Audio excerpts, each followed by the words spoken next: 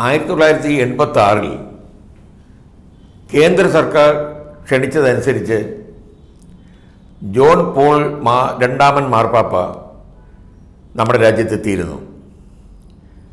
ഭാരത സന്ദർശനത്തിന്റെ ഭാഗമായി അദ്ദേഹം കേരളത്തിലും വന്നു.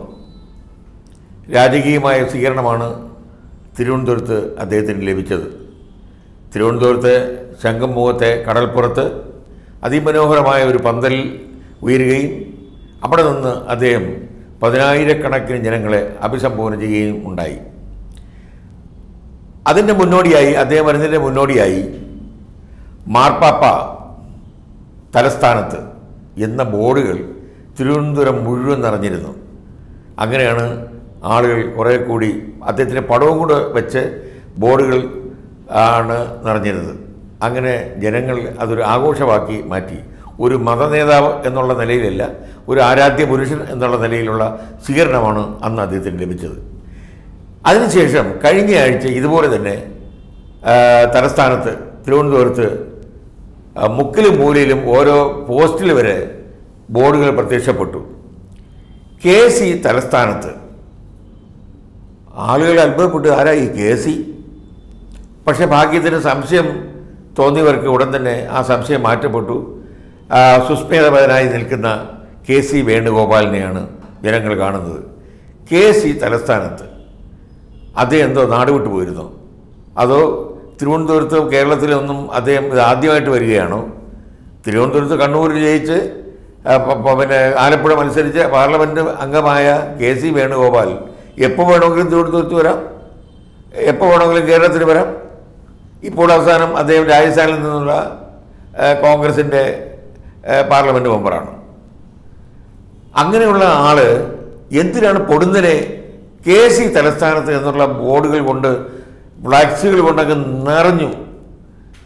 ആളുകൾക്ക് ഒരു പിടിയും കിട്ടിയില്ല. ഇതെന്താ ഇതിന്റെ ഒരു സംഭവം പക്ഷേ ഇപ്പോൾ കഴിഞ്ഞ രണ്ട് ദിവസമായിട്ട് നമ്മൾ അറിയുന്നത് കെ സി വേണുഗോപാൽ നമ്മുടെ സി ബി ഐയുടെ കസ്റ്റഡിയിലാണെന്ന്. നിസ്സാര കേസിനല്ല പെണ്ണ് വിഷയമാണ് സംഭവം. നമ്മുടെ സോളാർ കേസിലെ വീരനായിക അറിയാമല്ലോ എല്ലാവർക്കും കേരളത്തിൽ എല്ലാവർക്കും അറിയാം.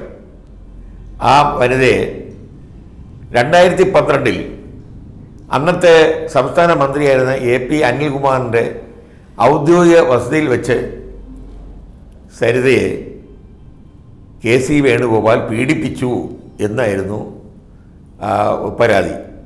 ആ പരാതി ആദ്യം കഴിഞ്ഞ പിണറായി സർക്കാർ അന്വേഷണം നടത്തിയത് ലോക്കൽ പോലീസിനെ കൊണ്ട് അന്വേഷണം നടത്തുകയും പിന്നീട് ക്രൈംബ്രാഞ്ച് ഏറ്റെടുക്കുകയും ചെയ്തു. പക്ഷേ ക്രൈംബ്രാഞ്ചിലോ ലോക്കൽ പോലീസിലോ ക്വസ്റ്റ്യനിലൊന്നും വേണു. വലുതായിട്ട് വഴങ്ങിയില്ല വീണില്ല. അപ്പോൾ സംസ്ഥാന സർക്കാർ തീരുമാനിച്ചു ഇതിനെ സി ബി ഐ അങ്ങ് ഏൽപ്പിക്കാം. അപ്പോൾ പിന്നെ വേണു മറുപടി പറയുമല്ലോ എന്ന് വിചാരിച്ചു. അങ്ങനെ സി ബി ഐ ആ കേസ് സംബന്ധിച്ച് അന്വേഷണം നടത്തിക്കൊണ്ടിരിക്കുമ്പോഴാണ് ഇദ്ദേഹത്തെ ചോദ്യം ചെയ്യാൻ വിളിപ്പി വിളിപ്പിച്ചത്. ചോദ്യം ചെയ്യാൻ വിളിപ്പിച്ചു എന്നുള്ള വിവരം അറിഞ്ഞ ഉടൻ തന്നെ തലസ്ഥാനം മുഴുവനും ബോർഡ് കൊണ്ട് നിറഞ്ഞു കെ എസ് സി തലസ്ഥാനത്ത്. അപ്പോൾ ഈ സി ബി ഐയുടെ ചോദ്യം ചെയ്യലിന്റെ നാണക്കേടിൽ നിന്ന് ഒരു മറവ് കിട്ടാൻ വേണ്ടി ബോധപൂർവം അണികളെ കൊണ്ട് ലക്ഷക്കണക്കിന് രൂപ ചിലവാക്കി തലസ്ഥാനം മുഴുവൻ ലക്ഷക്കണക്കിന് ബോർഡുകളും ഫ്ലക്സുകളുമാണ് പ്രത്യക്ഷപ്പെട്ടത്. ഇതിന് ഇത് കണക്കാക്കി കഴിഞ്ഞാൽ ലക്ഷങ്ങൾ തന്നെ ചിലവാക്കേണ്ടി വരും. അങ്ങനെ. അപ്പോഴാണ് ഇതിന്റെ ഉഡൻസ് ആളുകൾക്ക് മനസ്സിലായത് മറ്റേ കേസിൽ നിന്നുള്ള ഒരു മറയായി. ഇദ്ദേഹം വലിയൊരു ദേശീയ നേതാവാണ്. അടുത്ത ഇന്ത്യ ഭരിക്കേണ്ട നേതാവാണ്. അദ്ദേഹത്തെ വെറുതെ ഒരു നിസാരമായ ഒരു പെണ്ണ് കേസിൽ ഇങ്ങനെ കൊടുക്കാൻ വേണ്ടി സി ബി ഐ മനഃപൂർവം ശ്രമിക്കുന്നു എന്ന് പറഞ്ഞിട്ട് ഒരു മറയുണ്ടാക്കാൻ വേണ്ടി ചെയ്ത അടവാണെന്നാണ് കോൺഗ്രസിലെ തന്നെ കെ സി വിരുദ്ധ ഗ്രൂപ്പുകൾ പറയുന്നത്. ജനം പുച്ഛത്തോടുകൂടി മാത്രമേ ഇതിനെ കണ്ടുള്ളൂ. സി ബി ഐ കേരളത്തിൽ വെച്ച് ചോദ്യം ചെയ്യാൻ തീരുമാനിച്ചു. പക്ഷേ കെ സി വേണുഗോപാൽ പറഞ്ഞു ദേവിയെ നിങ്ങൾ എന്നെ കേരളത്തിൽ വെച്ച് അപമാനിക്കരുത്. ഡൽഹിയിൽ ഞാൻ ഉണ്ടല്ലോ. അവിടെ വെച്ച് നമുക്ക് ചോദ്യം ചെയ്യാം നിങ്ങൾ ഏത് ചോദ്യത്തിനും ഞാൻ മറുപടി പറയാം? നിങ്ങൾ അവിടെ വെച്ച് എന്നെ ചോദ്യം ചെയ്താൽ മതി എന്ന് പറഞ്ഞു. സി ബി ഐയെ സംബന്ധിച്ചു. കാരണം സി ബി ഐ എന്ന് പറയുന്നത് ഒരു കേന്ദ്ര ഏജൻസിയാണ്. ഇന്ത്യ മുഴുവൻ അവർക്ക് ഓഫീസുള്ളതാണ് ഇപ്പോൾ അവരുടെ ഡൽഹി ഓഫീസിന്റെ പിന്നെ വാതിലിനകത്താണ് കെ സി വേണുഗോപാൽ. ഇന്നലെ മുഴുവൻ ചോദ്യം ചെയ്തു. ഇനിയും ചോദ്യം ചെയ്ത് നടക്കും. ശരിക്കുള്ള വിവരങ്ങൾ സരിതയെ പീഡിപ്പിച്ചതിന്റെ മുഴുവൻ വിവരങ്ങളും സി ബി ഐ ചെകഞ്ഞ് എടുക്കുകയാണ്. എന്തായിരുന്നാലും സരിത മിടുക്കിയാണ് കാരണം സാധാ കേസായി ക്രൈംബ്രാഞ്ച് കേസായി ഇപ്പോൾ C B I. C B I മുഴുവൻ വിവരങ്ങളും എടുത്തേ സരിതയെ വിടുകയുള്ളൂ. അല്ലെങ്കിൽ നമ്മുടെ കെ സി വേണുഗോപാലിനെ വിടുകയുള്ളൂ എന്നുള്ള സ്ഥിതിയിൽ എത്തിയിരിക്കുകയാണ്. ഈ അവസ്ഥയിലാണ് കോൺഗ്രസ്സുകാരും ആകെ കുഴഞ്ഞിരിക്കുന്നത്. കാരണം ഒരു മന്ത്രി അന്ന് ഭരിച്ച മന്ത്രിയെ ഇതിനകത്ത് പെട്ടുപോയി എന്നുള്ളതായിരുന്നു അതിന്റെ ഒരു ഇത്. അപ്പോൾ കെ സി യും ഈ കേസിൽ പെട്ടിട്ടുണ്ട് എന്നുള്ളതാണ്